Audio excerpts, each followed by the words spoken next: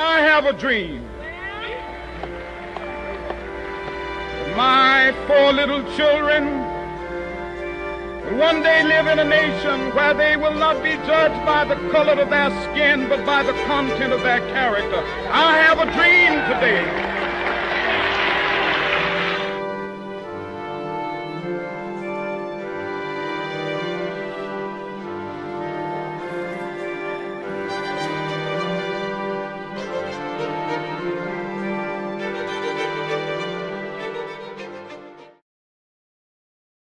Personally, it was embedded in my home that Martin Luther King did great deeds for not only me, but for all black people around this country.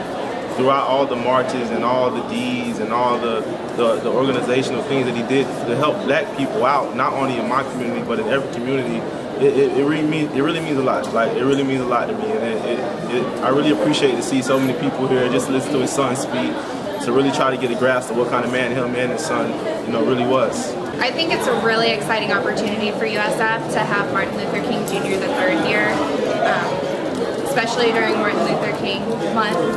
It's, I'm sure he's um, he's somebody that's in high demand right now, and for him, of all places, to come to USF, it's really great um, that the students can hear firsthand what he has to say. I think that's a great opportunity for uh, for USF students to, get to talk to someone like that uh, in his position, especially because of uh, his lineage.